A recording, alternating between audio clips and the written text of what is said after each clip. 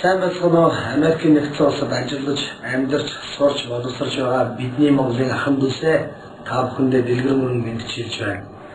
Би тун удахгүй та бүдээр сонсох дуртай өөрийнхөө дуунуудаас бүрдсэн би Монгол хүн нэртэй тайлан тоглолтоо та бүхэн зориулж сонирхолох гэж байна.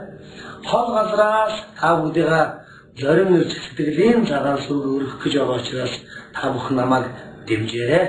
Монгол улс ما مرتضى